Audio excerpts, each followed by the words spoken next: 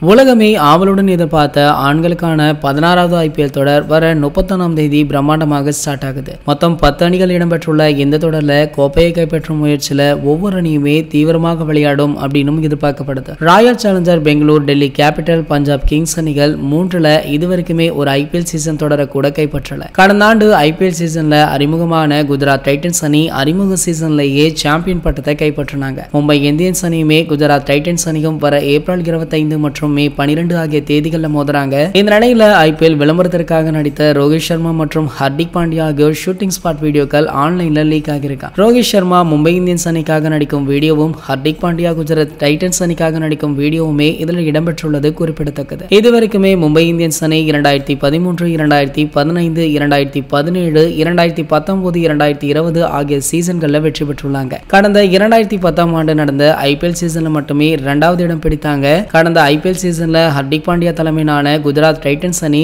Champion பட்டத்தை கைப்பற்றி மாசம் காட்டினாங்க. சோ இதனடுத்து பாத்தீங்கன்னா சிஎஸ்கே உடைய ப்ரோமோ வீடியோ ரெடியாக போதாம். அது ஒன்று அல்லது இரண்டு நாட்களில் வெளியாகும் அப்படின்னு சொல்லப்படுது. இந்த அணிகளுடைய ப்ரோமோ வீடியோக்கள் சோஷியல் மீடியாக்கள் வெளியானது போல சிஎஸ்கே உடைய ப்ரோமோ வீடியோவுமே வெளியாகும் அப்படின்னு ரசிகர்களுமே வெயிட் பண்ணிட்டும் இருக்காங்க. சார் ஓகே இந்த ஐபிஎலுக்காக உங்களை யாரெல்லாம் ரொம்பவே ஆவலுடன் வெயிட் பண்றீங்களோ அதை கீழே உள்ள கமெண்ட் செக்ஷன்ல கமெண்ட் பண்ணுங்க. மேலும் இது போன்ற கிரிக்கெட் செய்திகளை பத்தி நீங்க உடனே தெரிஞ்சுக்க நம்மளுடைய தமிழ் கிரிக்கெட் இன்ஃபோ அப்படின்ற இந்த சேனலை சப்ஸ்கிரைப் பண்ணிக்கோங்க. மேலும் பக்கத்தில் உள்ள பெல் ஐக்கான மறக்காம கிளிக் பண்ணுங்க.